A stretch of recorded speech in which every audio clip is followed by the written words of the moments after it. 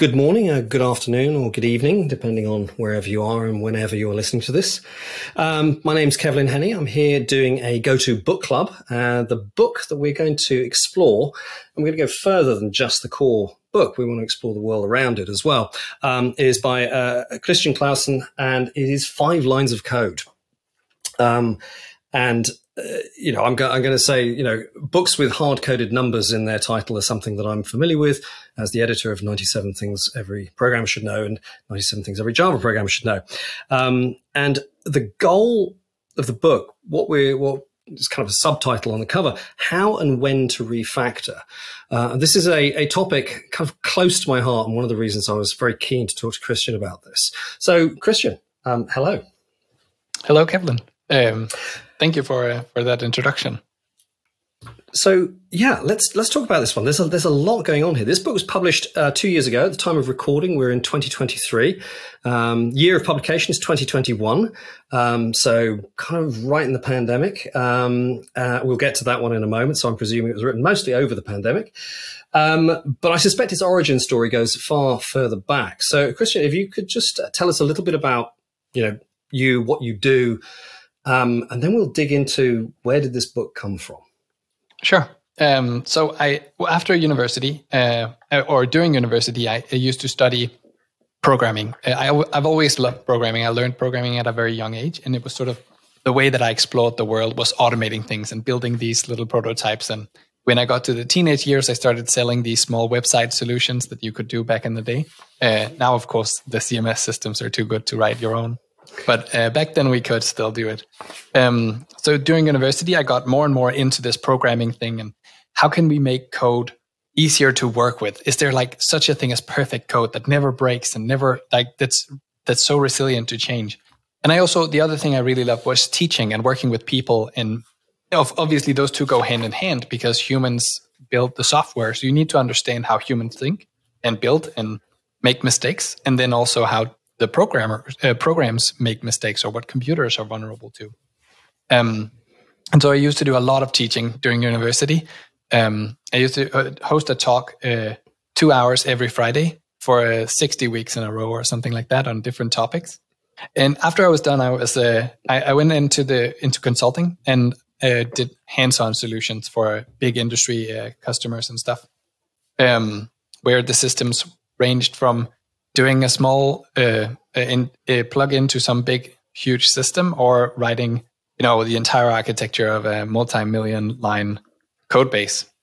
Um, and so i started thinking about uh, when the when the code bases grew, grew too large for one person to fix um, i started thinking about how can i get my team to to go in the in the right direction without having to give them the whole five years education i've had in programming theory um, and so I started trying to, uh, you know, fake it till you make it kind of dress for the job you want. So I was like, here's a rule. It's super easy to understand. Just do this. It'll be better than before. It might not be perfect, but we'll go in the right direction, you know? Um, and I'm very, I'm, I've fully embraced this agile way of uh, living where it's, I only think about the next step in the right direction, then we'll adjust from there. So that was sort of the, um, the thing. I started coming up with a few rules and stuff. And eventually I had this catalog of, of small rules that sort of helped each other and built on each other. And, and I knew that it was, it was something really important or really useful because the improvements we saw, saw were, were real. Um, and so I, I, um, I decided to write them down uh, and then compile them into a, a, set of things, a small catalog of 100 pages in the beginning. Ah, yeah. So that's where it grew from. Mm-hmm. And, and, and to, to, hint at something that you're describing, so you're talking about the small things. The small stuff matters. Um, that idea that you know we we build big system out, big systems are built out of smaller pieces, and those are built out of smaller pieces still. So therefore, the small stuff matters. Um, what's interesting about the way that you present the um, refactorings in the book is I think there's one is a is a general observation, and one is a, an observation from, I say, the 2020s. Um, first of all, the general observation. My first proper introduction to refactoring was around the XP um, uh, XP era. Martin Fowler's refactoring book. That's kind of helped popularize it, um, brought it to the surface, uh, if you like, um, as a first class practice. And uh, Martin's first edition book and then second edition, they, they deal with kind of like a, a middle range, a, range that many people who tend to think about and talk about design patterns be very comfortable with, but also uh, we, we, head into the code, but often with bigger implications. And it's kind of, it feels like your book kind of picks up, it overlaps with um, some of this kind of uh, the, the, the more fine grained things. For example, switches into polymorphism. That's a kind of a classic where you start with a little piece of control flow and end up with a changed um, structure that is first class visible to anybody opening the file. But you also go into much more detail. Um, it's it's kind of in some ways picks up where Martin left off. You, you you're dealing with I don't know the small change, if you like, uh, rather than the uh, uh, the bigger amounts. Yeah, it it feels like or it felt like to me. I, would read obviously the Gang of Four book, and then uh, right when I got it, actually, I was super excited because it it it was a book referred by everyone, and I was super awestruck. And uh, and then I showed it to one of my professors, and he's like, "Oh, that's not the one you should be reading. You should be reading Martin Fowler's book instead." And so uh, I went home and ordered Martin Fowler's book, and it changed my life completely. It was like this idea that instead of trying to figure out everything from the start, you instead do this small incremental work uh, on the code base, and you start from a mess. And I'm like, obviously, that's way more applicable because I always have a mess. Whether, whether I start from something somebody else built or something I built six months ago, it's always a mess. So it's way more stable to be able to handle that. But then I, I started realizing as I was talking with people and seeing people in the real world that it's the smells were the sort of the unex, unexplained sort of thing. Where do you get started with the smells? That was the next, you know, frontier. Yeah, that was still yeah. I think that's. I think that there, there's a couple of there's a couple of things. So first of all, let me just jump back from that to that idea, the second idea, the, the perspective from the 2020s. Now, many people are now more familiar with uh, refactoring. It's it's now it's now in people's vocabulary, possibly to the point that they overuse it. Uh, sometimes just to mean I'm changing something, and it's strictly not a refactoring in the sense mm-hmm. of preserving existing behavior. But when Martin's book came out, um, he was building on a whole movement there um, uh, that had kind of been growing. Um, and he kind of categorized it, cataloged it, presented it in a way. And he was a popular author, really nicely presented. It's just like you're going through, going, oh, okay, this is what people mean when they talk about incremental development. This is how they talk about iterations. Everything else felt too big. But what I find interesting is that a lot of people now assume this is a solved problem because we have tools which have automated refactorings. And I mean, obviously, that's it's not a solved problem. What I find is that you know uh, is people have all of those issues in their code that honestly they had 20 years ago. That hasn't changed. Um, they've just now got a tool that they don't use, but also that your book actually gives people the raw recipes and low level ingredients. Just saying, don't worry about the tools. I'm going to I'm going to show you what this is. Just imagine the only tool you have is a compiler. Now, I like that approach. Um, what inspired you to, to to kind of pursue that one? Because it goes back to this idea of detail, doesn't it?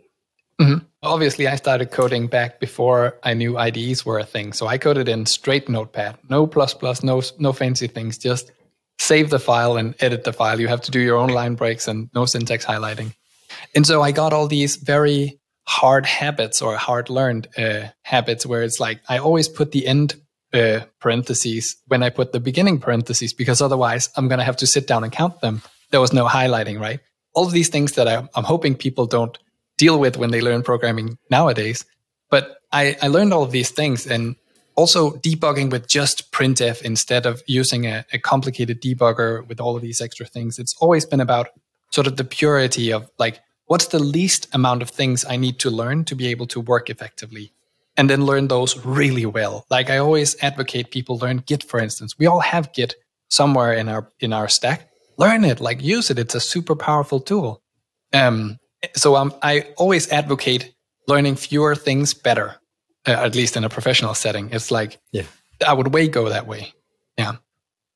Yeah, I, I, and I think that that that essentialism also makes it more broadly applicable because you're showing people, you're not telling them you can only do this if you're working in this language mm. in this environment. I think that's quite an important thing. The the language um, of the book is TypeScript, but I happen to know that first of all you know an awful lot more programming languages, but also you explicitly say in the book, you know, you're using this because hey, if you're a C sharp programmer or you're a Java programmer, you can read this. You know, if you're working in straight JavaScript, then, you know, this is just a few extra colons. And, and it's very much that you are looking to get that message out and you're going to choose that common subset. You're not going to rely on somebody working with just say, oh, yeah, I'm assuming that you are working with IntelliJ and that you are doing this. So therefore, I'm going to lean on that. You just say, no, here is what's happening to the code. And perhaps you can automate it, but let me just show you the real deal. Yeah. And it's it comes especially out when it's talking about something like renaming something or extracting a method.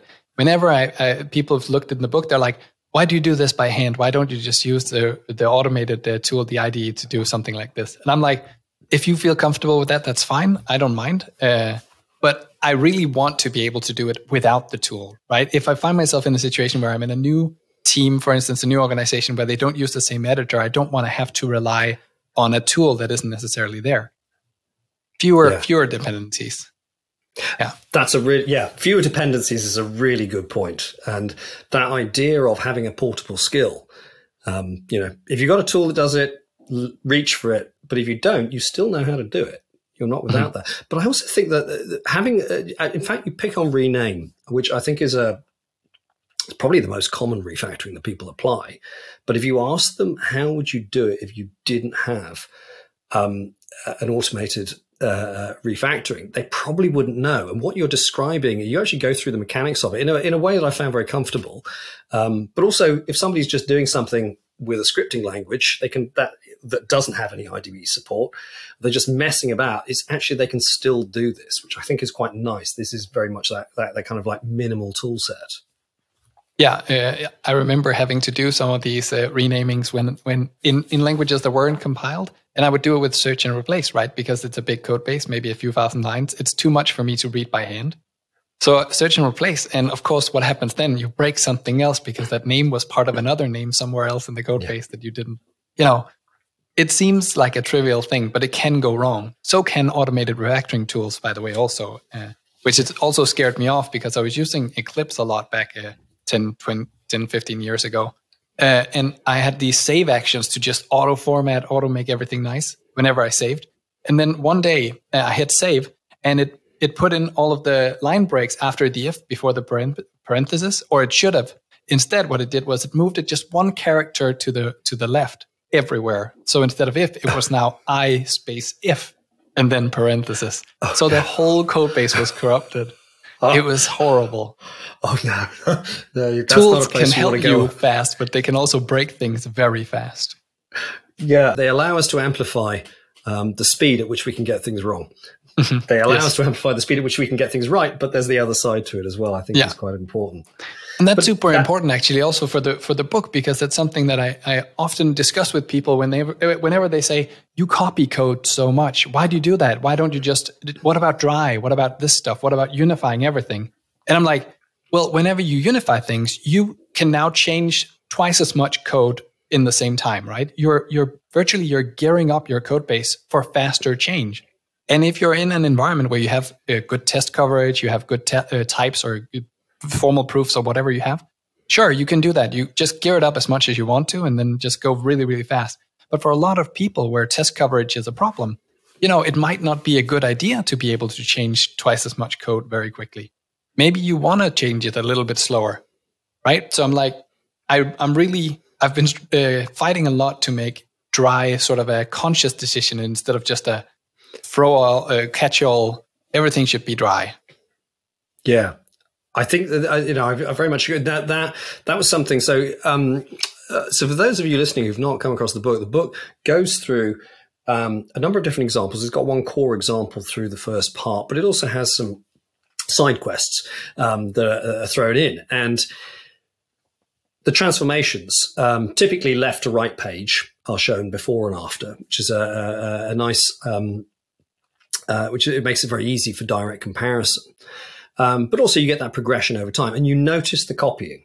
Um, and I was actually quite glad of this because I I did a talk recently where I, I found exactly as you were describing, I had to have a whole couple of slides justifying why, uh, the, and the talk was on a refactoring, and I went and duplicated a whole bunch of stuff in order ultimately to cook it down, to eliminate mm. it. But it, it's kind of the whole idea of like, if I'm going to tidy my room, I don't immediately put things in other rooms. I don't immediately extract. What I do is I kind of put the whole mess in the middle of the floor. Now I can see what I need to tidy. I shuffle things around. Now I can classify. I see it all in one place. And in code, some of that is throw things into a method until it gets obvious, uh, painful, but more more obvious. You still see the patterns. But the other thing is copying. That's one of the things that we do.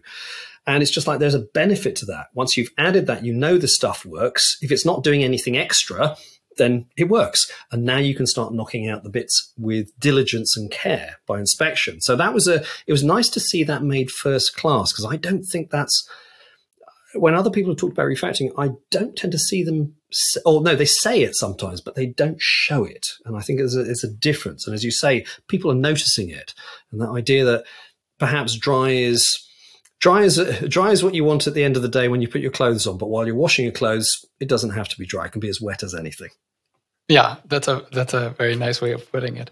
Uh, I think also is something that people miss is when whenever you try if you try to do some of these refactorings or some of these major changes to code that is shared by multiple things, you you're going to have to do everything a little bit slower because you have to check did I break either of the places? Did I consider like you're putting more stuff into the head of the developer, which is the opposite of what I'm trying to do know, I'm trying to make it simpler, to make it easier to do these things and to make it safer. And so by duplicating something, you know, I'm not going to affect any uh, uh, up to side effects. I'm not going to affect anything that isn't in front of me right now. Uh, and so you can go a little bit faster and you can do a little bit more reckless things that, and then, you know, it's easier to revert it. If, if, you, if you've already started unifying it, you have to mess about with a bunch of stuff. And again, if you're good at using your, your, your Git history, then maybe you can get back fast if you need to roll it back. But if not, you're just totally screwed.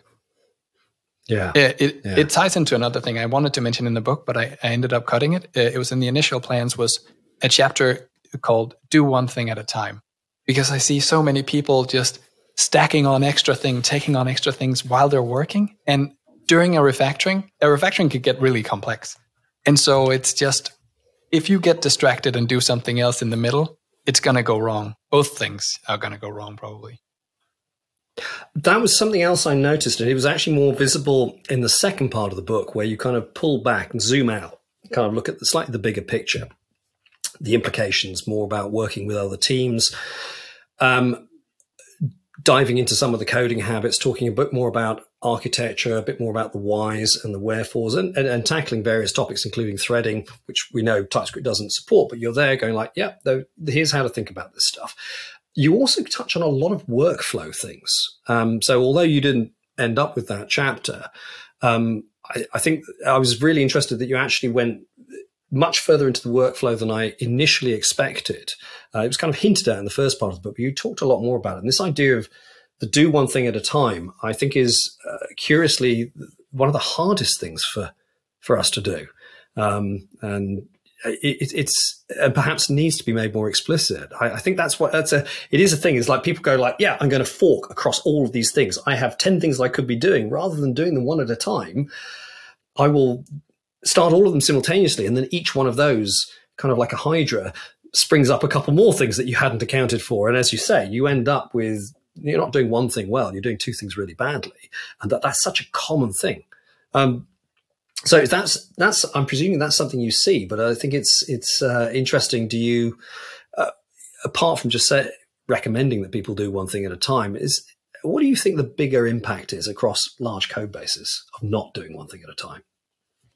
Yeah. So first of all, I think it, it, so when you're, when you're doing something and you're deep into changing something, making something more readable, what, whatever you're doing with the code, and you start you then notice something else that's broken or something else you could be fixing or something that's really ugly or whatever whatever it is you want to do and you start fixing that you'll be doing that while retaining the momentum of the thing you were doing so it will sort of put you in a frame of mind of now you have sort of two things and they will your your your brain will force them or try to force them to be the same sort of thing or or one coherent thing and you'll struggle either to make a a, a red sort of line between those or or a, uh, or you'll you'll find one and then you might see this thing in a in a completely different light. It's it it just it gets really weird. It can get uh, when you start unifying or when you start also sometimes it's the same with dry right? If you try to unify things that coincidentally look like look similar mm these will now have to have a method name like something handler or something general, something. And I know you hate uh, suffixes that don't mean anything, but it, that's how you end up with them, right? It's because you are in a yeah. case where it's so general, you don't know where to go, right? There is no there is no connection between these things, but you're trying to force it onto them, and so it actually gets worse than than just having two copies. Uh, so yeah. actually, there's something really subtle in, in what you're describing um, that I think deserves to be brought out because you're saying you're effectively uh, accidentally you can end up projecting an opinion, an accidental momentary opinion onto the code rather than the deliberate approach that you take in the book um, of trying to, as it were, find the design, sense the code, kind of feel your way through it, and as it were, figure out what does it want to be as opposed to what am I going to impose on it. And I think we're very, uh, it's exactly as you described. It's, it's, very easy to just kind of go with something and go like, I'm going to push this onto the code and it will fit this shape. And I don't know that I'm forcing it into a shape that it doesn't want to be. And I don't know that I am driving together things that are coincidentally similar but have no deeper meaning. And then I'm left with this thing, this imposition rather than the, that slowness that you talked about of like let's just feel our way. Just like make sure no, make sure we don't break things, um, but feel our way. Find out what the code wants to be. Yeah, and the, the make sure we don't break things is also super important because what I learned from from the industry and uh, from beta experience is the the code that's running in production works right now. Right, it's running. That's what it, that's what they have now. So it might be wrong. It might have errors in it, but it is at least good enough uh, to to to run right now. And so I really, really strive towards having people just follow the thing it's already doing. If you don't know that it's wrong, don't question it right now, right? Wait until you can fix something after it. Also, fixing wouldn't be a refactoring anyway. But like it already has some structure, it's doing something. And so make that structure appear, make that more clear what it's doing right now, more than more so than what you can imagine it will do in two years or in three years. Mm-hmm. Because we might bet wrong. Actually, we usually bet wrong when yeah. we try to go far out in in front of us. Yeah, I think, that, and that that sen- that sensing approach, and it's, um, and again, let's go back to that idea of senses. Um, I mean, senses we use senses all over the place, very figuratively, um, um, and smells being the one uh, that we often gravitate towards when we talk about refactorings. And you highlighted this issue that for some people that's actually more of an obstacle. That there is a that, and I was thinking when when you said that that uh, in the book, I was thinking, yeah, there's a kind of a notion of um, uh, to have a refined sense of smell. It's not you don't get it for free. You got you got to learn how to do this. Whether it is the kind of uh, uh, the, the, aroma of a perfume, the, uh, the bouquet of of wine, or uh, if, if anybody's seen the film Ratatouille, You've got one rat there who has an incredible sense of smell, very sophisticated. The other rats don't have it, and he's trying to educate the other rats, and it's it's hard work.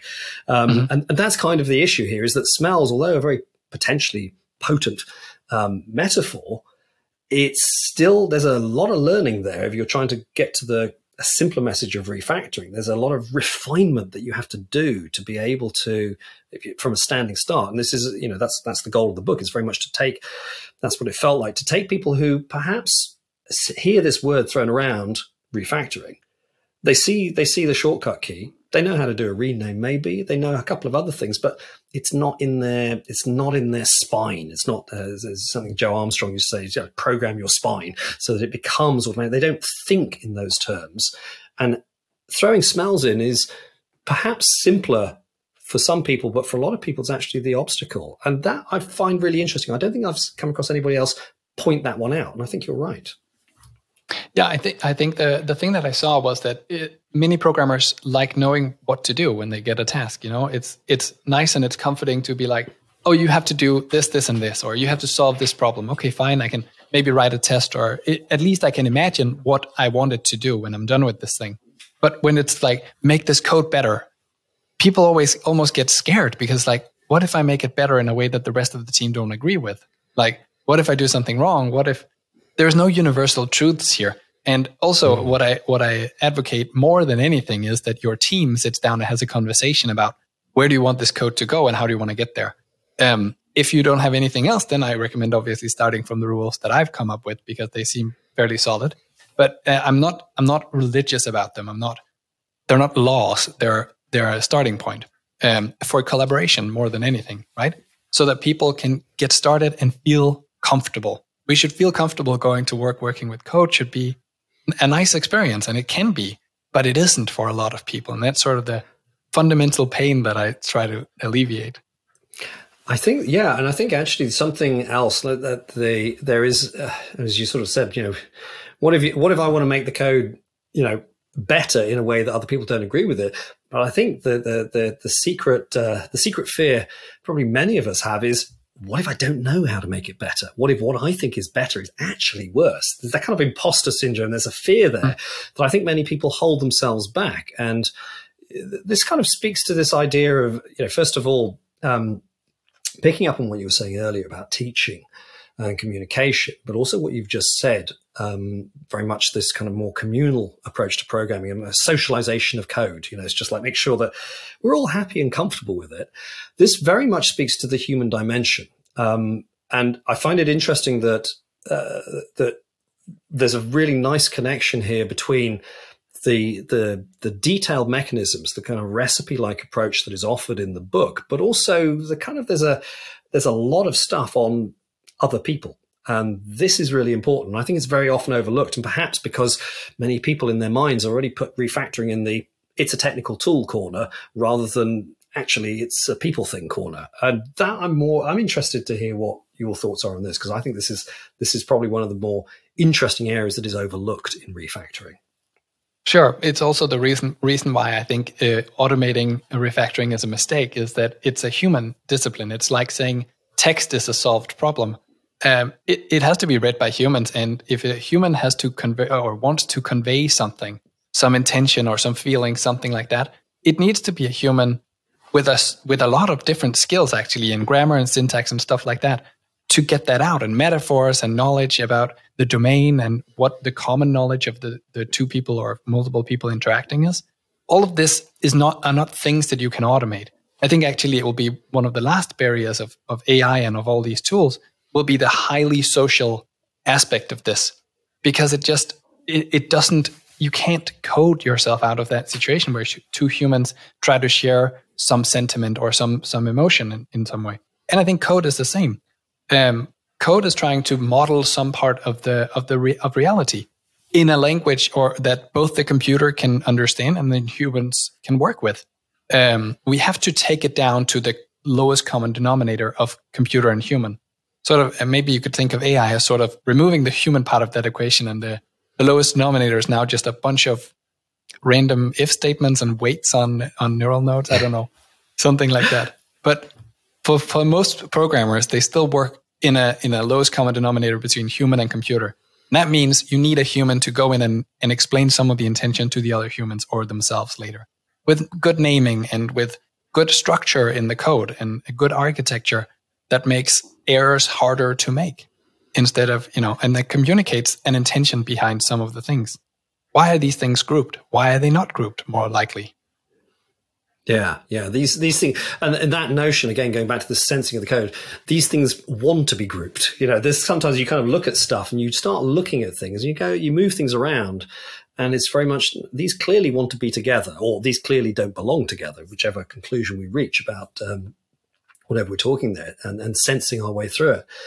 And so there's a lot here, uh, very much about this idea that the workflow is not is not simply a mechanical thing. It's a it's a cognitive thing. It's it's a it's a message between people. And at a number of points in the book, you are kind of keen to emphasize, you know, hey, you know, I want to pair program or ensemble program on this. And that's although that's not what the book is about, it connects really strongly um, to that, which kind of suggests again that you know uh, the refactoring message is very much about uh, our collective understanding and refining it. It's not just for the runtime of the code. The idea is that collectively as a team, we are learning what's there. Mm. Yeah, you're, you're modeling the domain and you learn more about the domain and you learn more about computers with most projects also apparently. Uh, it's like uh, they seem things always fail in new and interesting ways, as you also famously mention a lot of times. Uh, and uh, and revealing new structure, either about sort of the the language or the, the thing you're implementing the model in, or something new about your model that you didn't uh, you didn't anticipate. So we're learning constantly, And so the the trick is, I, I think uh, refactoring to me is is a lot like uh, deformatting your computer, right? If you just mm. learn stuff all the time, you put all these little pieces uh, back to back in your head, and then sometimes you invalidate some learning and you forget something. Stuff, you know, you create all these holes. Sometimes you need to go in and just collect all all of it, tie a out nice bow around it, and be like, okay, this is the current truth. So you're removing all this gunk and you're making it nice again. It will invalidate over time. All software does. Yeah. Uh, and I think again that's and this is idea that this is um, ongoing. Again, just to fit back to a smaller detail is very much as you're talking about with uh, copying.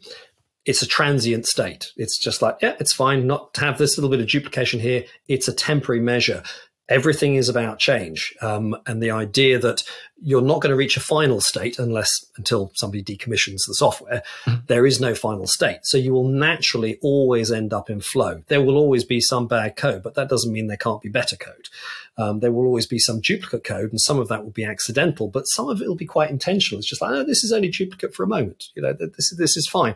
We're we're en route. That's that's absolutely fine. That this state of change is a normal thing. You're not actually looking for a. Um, in fact, this book is very much the opposite of books that I certainly read 30 years ago, um, uh, looking back to kind of like the, the, the, earlier design books, which were very much about, okay, we're going to reach a state of perfection before we've even built it.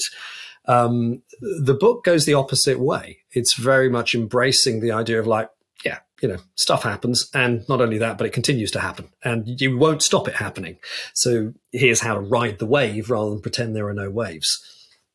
Yeah, and I, I, actually write my own code and build my own systems in that way too, where the most recent code, I just write it one pass without thinking about it. No nice styles, no design patterns. Just get it out any way you can, make it work. Uh, put it into production, see what happens to it, how it's used, if it's used at all. If it's not used at all, it's easy, delete it uh, if it's used, then you can go back and fix it. You know, once you have some experience about what changes did I need to make, what like when you when you do something new, you you have no idea what the structure should be of that thing. You have you can sort of guess and you can sort of do these things, but for most of us, those guesses are not great. And whenever it meets real users, it's going to have to change in some weird ways. yeah, just I think, because I communication that, that, is hard.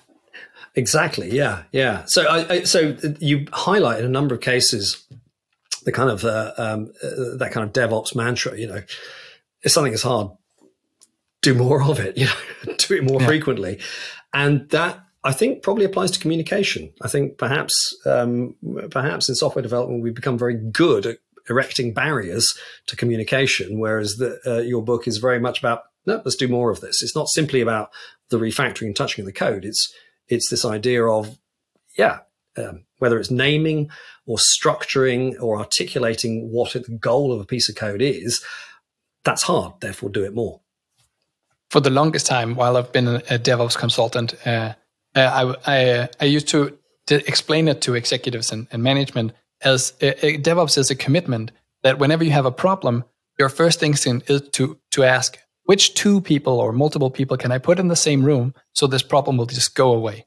Because whenever people get together, they solve problems. Like that's our entire job is solving problems.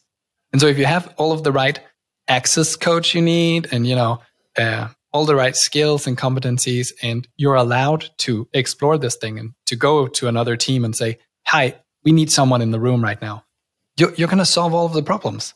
Like the, the worst debugging tasks I've ever had were the ones where I was told something in this code doesn't work. And I'm like, okay, who reported it? Some user. Okay.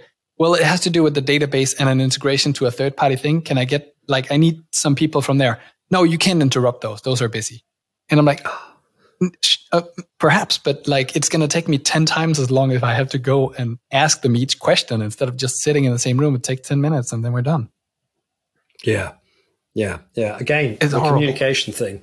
Um, you know, it's uh, it's the bringing people together thing, and uh, you know, being able to have the, the, the, having people understand that that's actually what drives this. So, again, it's it's this really strong kind of human element. But I think one of the recognitions of of the human element, and you highlighted in um, in the book, is is is this idea it's it's not enough, and actually you highlighted in a talk as well, and um, GOTO Copenhagen last year. This idea that you can't simply present people, although you have a series of rules, you've distilled it down to a series of rules.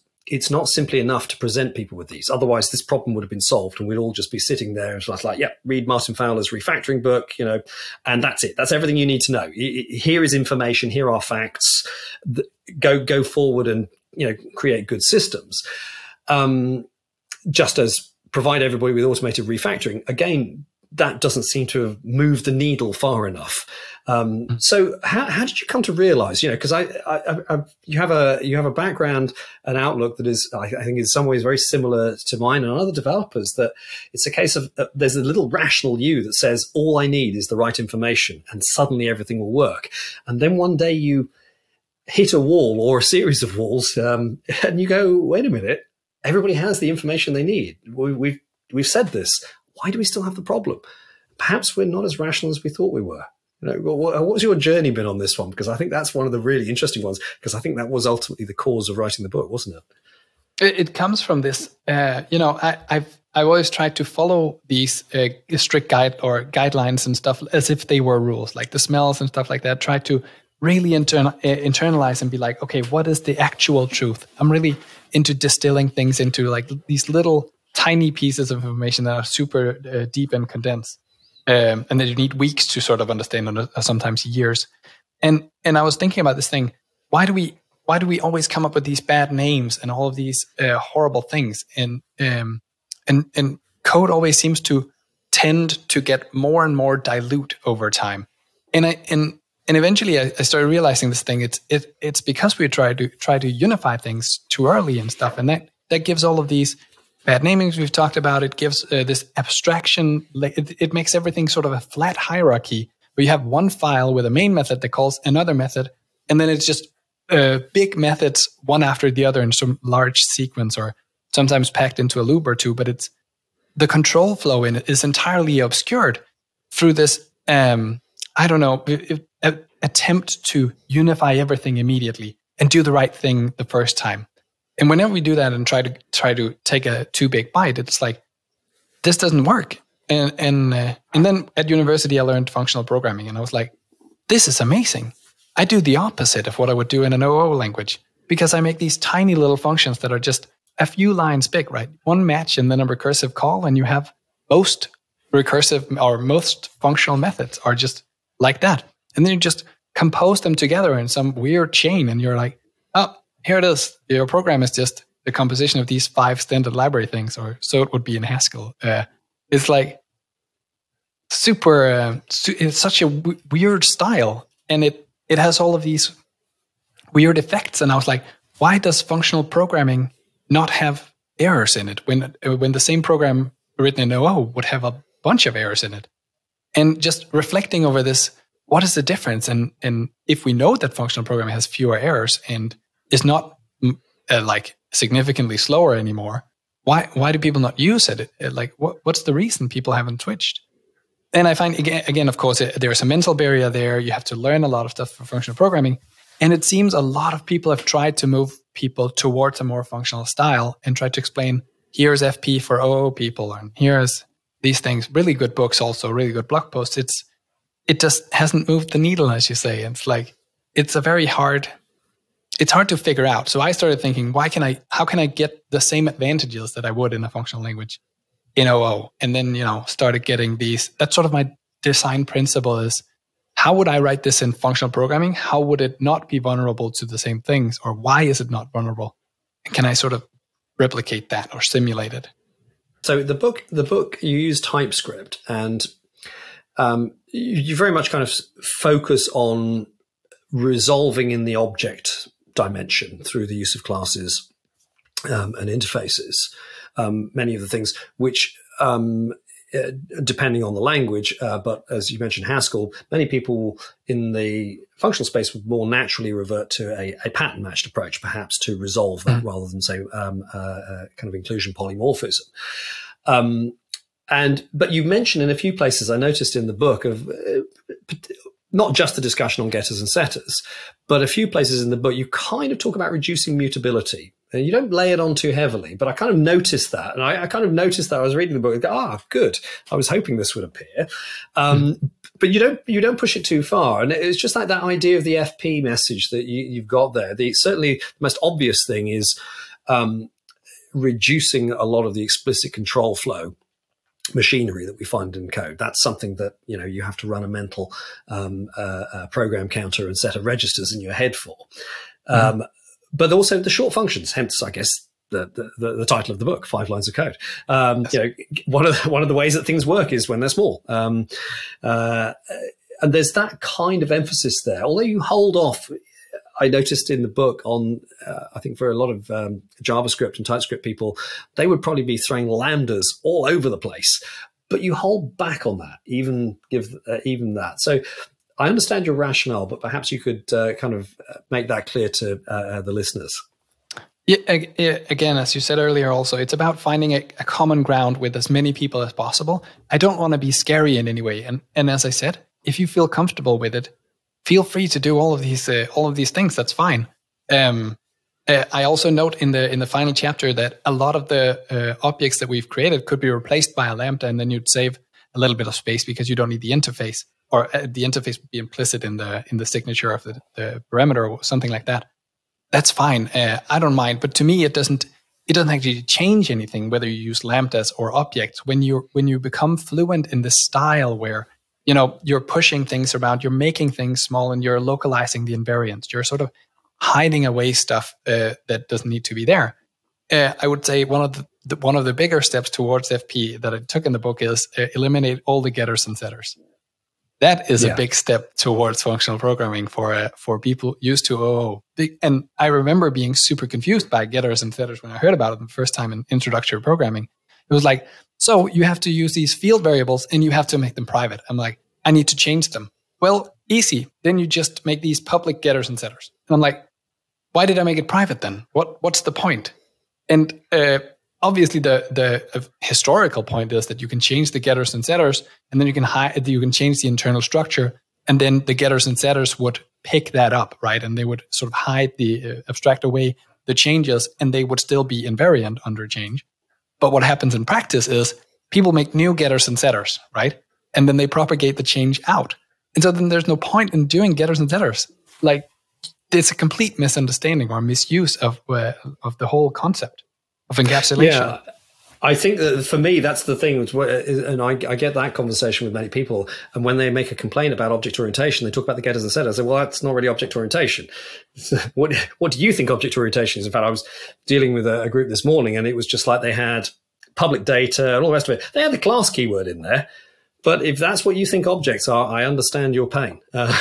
Uh, I can see where your pain's coming from. It's like object orientation was never about getters and setters. Getters and setters is what if you like, the procedural people did when they got to objects. Um, hmm. They said, I don't understand objects. Tell you what, I'm going to make it much more like just, you know, standard records and structs that I find in Pascal and C.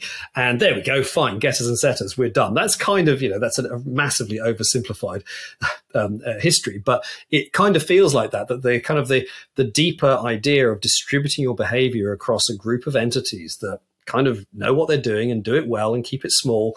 That small message, I mean, literally Smalltalk, the word small is in there, was kind of part of the original idea. And, and a lot of the original OO books were very clear on this, but that message got lost. And so it feels to me like your book is trying to reclaim that territory, but without sort of saying, hey, I, I went via the, the functional route to kind of learn the lesson of smallness. It's just like, hey, smallness is its own virtue in this case. Um, if you can yeah. put it in your head, if you can understand it, you can change it and and and you can work with it.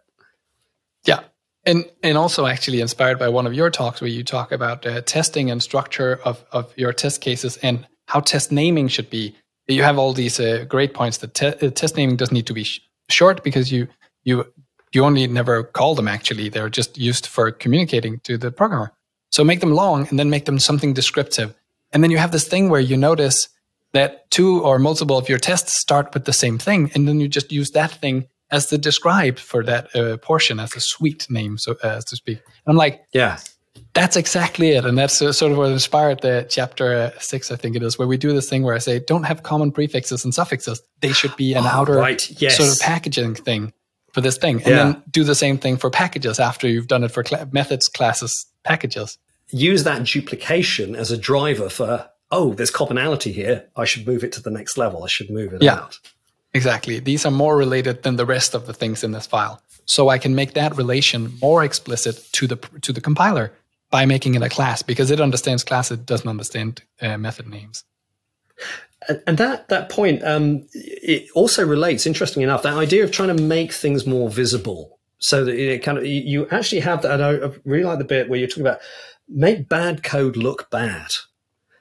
Um, yeah, this I, I like this because it's uh, this is something that I've often talked about in the past, um, but I've never made it perhaps as as uh, explicit. But the idea of like I, I remember talking to somebody about both IDEs, but also how they wrapped something up, and I said I don't want this to look nice because it's mm-hmm. really ugly, and I want it. I want to know that it's a problem, and I want to make sure that I see that it's a problem, and then one day I or somebody else will recognize I understand what's going on here. There is a simpler solution, but it's not hiding it under the carpet.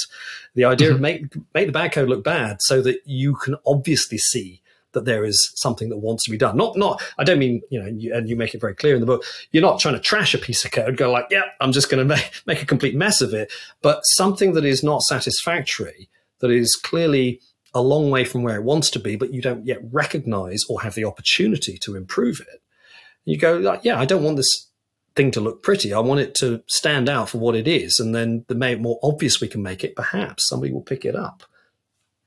Yeah, a, a lot of the things, as uh, as I hope is evident in the book, are about making things more immediately visible. I should be able to look at the code and know that it's wrong or know that it's good uh, without having to think. If I have to use start up my cognitive processes, I'm not going to do it. I'm especially not going to do it because I'm super busy with the 30 other tasks that or on the backlog that we'll never even get to.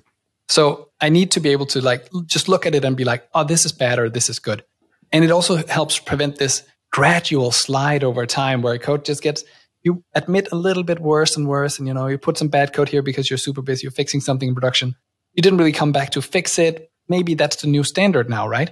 And then the code just slowly degrades over time. And I'm saying, put a trench there, right? Have this code that's really bad and the code that's decent and don't make them mix. And so I like, as, as you say, to put little things that nag yourself eh, or the other programmers. Like instead of putting uh, Math.PI, put the actual number pi, because immediately you'll be like, why is this number here? It'll catch your eye immediately. Oh, it's to signal that the rest of this thing is probably also bad. But it's easier to see it now. It's easier to spot it. I just read a really interesting um, article from Harvard Business Review where they're like, uh, the cognitive uh, thing of the environment around you shapes how you make decisions and they're like put yeah. bad things further away and then bring good things closer and i'm like that's sort of the point i was also trying to make make it feel annoying so you'll do something about it yeah, and yeah, I, I read the very same article. It's a it's a it, it's a good one, uh, but it is that idea of making a distinction and that idea of a separation. Um, and as you say, actually adding a trench so that you don't get one mixing with the other, so that you can advance that over time. But also, you have a clear idea. You know, this is the the geography of the code is you know where you stand. Literally, you're looking at this, go like, okay, I understand this code is less mature than the code over there that I was working on this morning, but I understand that, and it's a conscious thing that I'm aware of, and I can see the opportunities for improvement. Perhaps this is where we move to next, or I treat it in a different way, and that and there's a very kind of um, situational aspect to that. But I want to draw you back to something else because you kind of mentioned a couple of times, and I think it's quite important because, again, this is something that I noticed. Um, you emphasize invariance a lot. Um, and you actually did so very early on in the book. And um, and so the idea of an invariant is something that I think uh, perhaps people who uh, uh have studied logic or uh, are very familiar with, um, say, programming by contract, um, you know, programming proofs, and uh, and certainly functional programming. There's this idea of an invariant which doesn't get talked about enough in the mainstream. I kind of like that you talk about it and make it first class. It's very important. It's very central. I think actually it's the first thing I actually say after the introductory ter- uh, chapter is this is what an invariant is. This is what it's all about. It's about the things that I can keep in my head and I can know about the code but I haven't checked them explicitly in the code or in the type system or tests or something like that. It's something I have to remember and I have to keep track of, which is why, of course, it's the source of most problems is because I lose track of these things. You know, I'm, I'm a human and I'm fallible, so I forget things over time and I, I misunderstand things. And again, if you mix communication in, I also miscommunicate them to other people. It's like, I may know that this thing can't happen, but then I might forget to say it to the other guy because I'm thinking, yeah, reasonably he won't do it.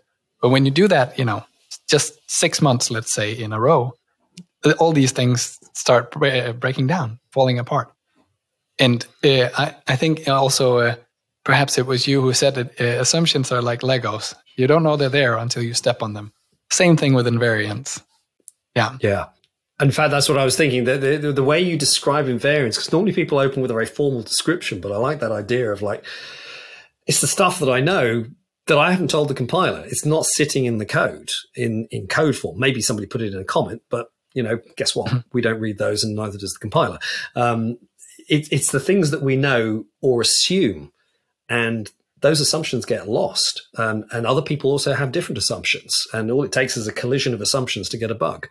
Um, and this tells us again another place where bugs come from. But I think that's a it's a, a, very important one. And I like that it was presented in a way that is non non-threatening and non-formal. That because I guess I tend to think about them in very formal ways. If somebody asked me what is what is that, I'd probably start from a formal perspective. I'm don't think I come up with anything that was quite as direct as basically saying, "Hey, stuff I know that I haven't told the compiler is a very simple way of."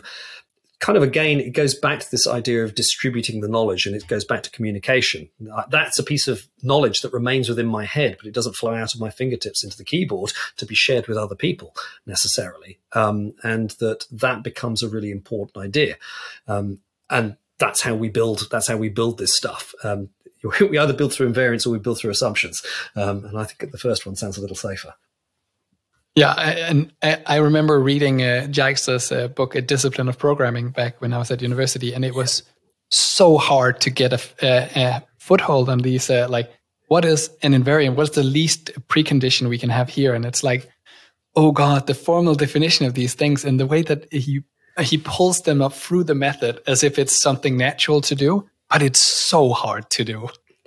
It's, yeah, and that's sort yeah. of what I'm like. I'm trying to bring it back down to, to earth and be like, you know it intuitively, like what it is that you know about the code. Just make them explicit uh, or at least limit their scope, right? So that y- you encapsulate these things. They're almost always tied to some data in some way. So just encapsulate the data and make sure that at least it's in this file.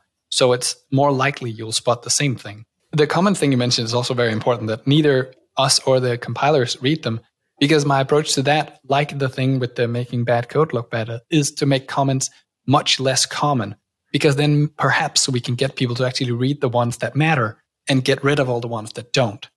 Um, again, yeah. trying to hack this cognitive thing. No, if yeah. if you see a comment and you haven't seen one in, in in two months, then probably you'll read it. But if you see them yeah. every day and they're mostly outcommented code or you know whatever, you're just you'll start ignoring them. Yeah, it, it's, it's it's a value of something is is uh, you know one of the ways we define value is in terms of scarcity, and if comments are if comments are everywhere, then they're not worth much.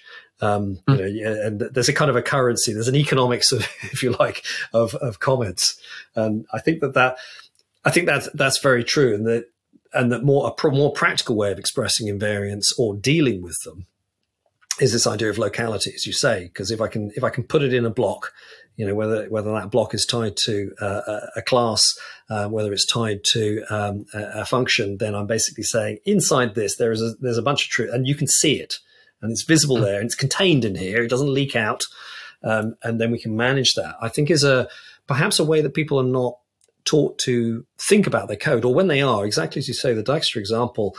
Um, yeah, I've, I've, I've read that book. There's a lot of the reader has to put in a lot of work. Um, you know, that would be a polite. You know, it's not that he doesn't say anything wrong, but perhaps he doesn't communicate in the way that we've been talking about.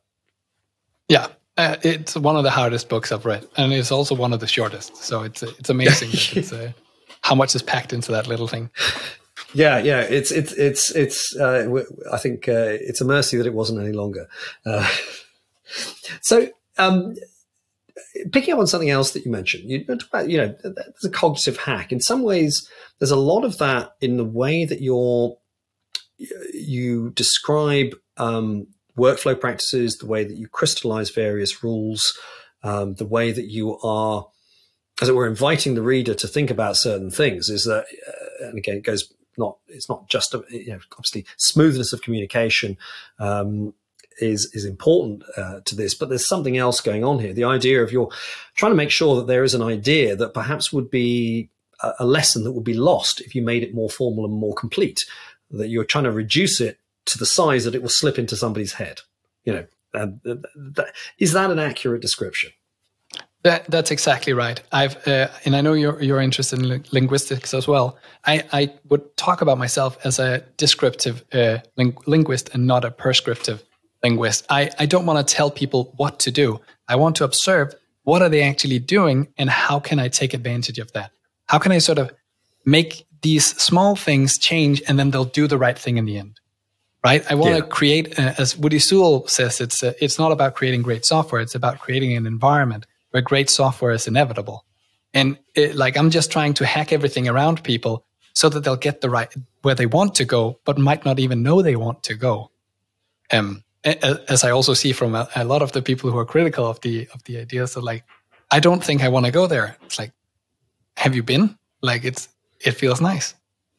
Yeah, maybe you should want to go there. Yeah, yeah. Uh, it's the uh, you know that's very much kind of nudge theory. You know, it's uh, mm-hmm.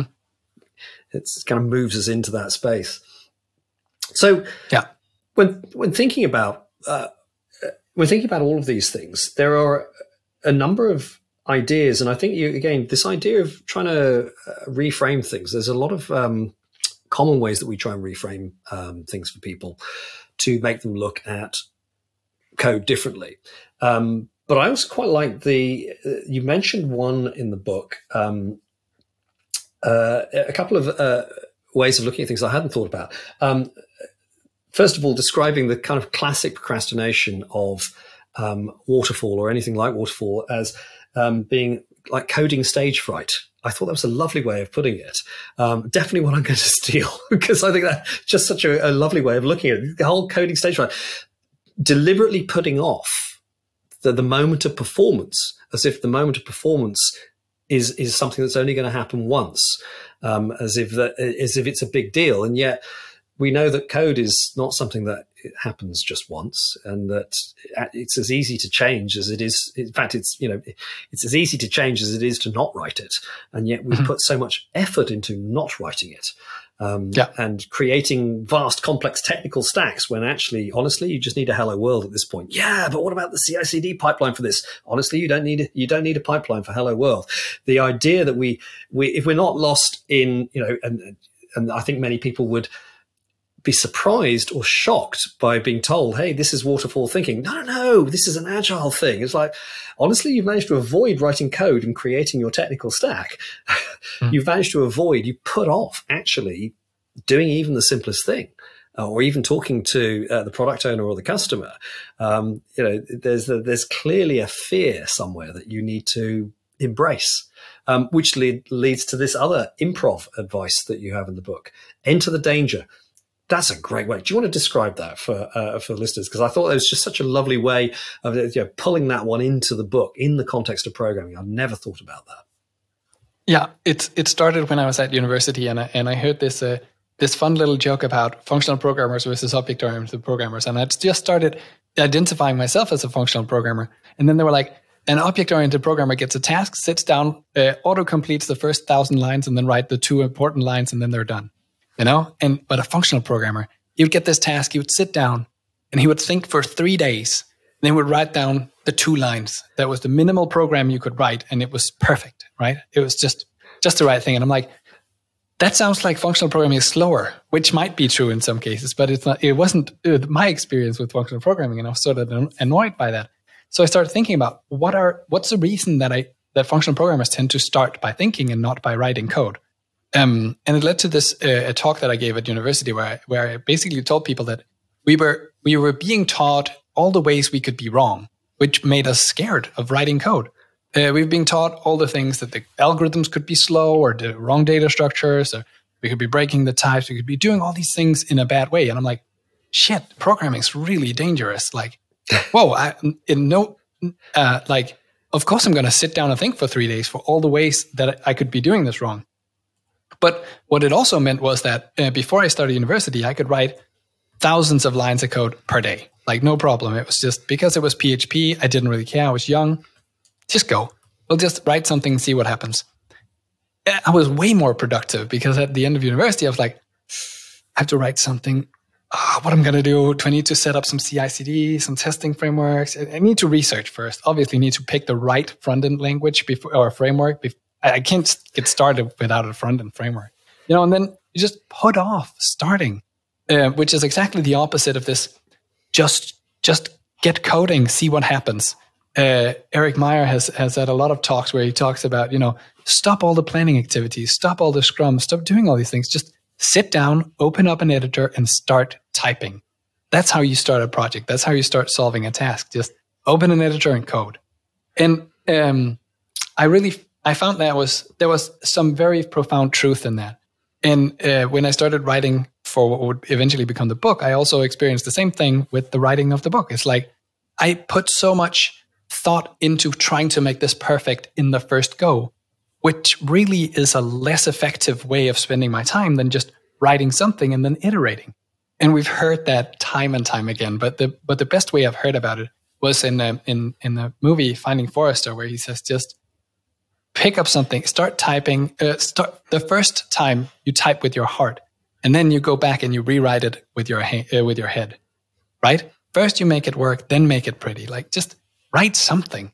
I don't care. Just get it out there. It's infinitely more valuable when it's written down, even if it's wrong, than when it's yeah. just an idea that you have. There's there's there's a lot of truth. It's it's it's it's, it's a funny thing because it's like we've almost taught ourselves to be um, um, by being cautious, we've taught ourselves to be fearful. Um, mm-hmm. And when we are fearful, we're actually less effective. And exactly what you described about that's kind of like, yeah, before I knew stuff, I'd write loads of stuff. Then I started learning things, and now I'm afraid to write because I know there are so many things that can go wrong, or so many considerations, and so many paths into the future. What I would naively once have thought, yeah, I can do this, and it's a straightforward path, and I might discover I'm wrong, but I would still set out on that path through a process of education and experience, we've ended up preventing ourselves from walking down any paths, but standing around talking about the paths. You know, it's, it's this whole whole fear that we've accidentally created, and for something that is uh, given that software is supposed to be soft, um, and, and you know, refactoring is a mechanism for doing so, and ensuring that we've we've we've made it harder than hardware in some. It's that's how it feels, at least to me, some days. Yeah, and and then as you said, is it comes from also I have a, a, bit of a background in theater where when you want to create something that's emerging in this way, you know, improv theater is very much an emerging thing between the people and what what you can get out of the few props you have or the few situations that what, whatever you can create there.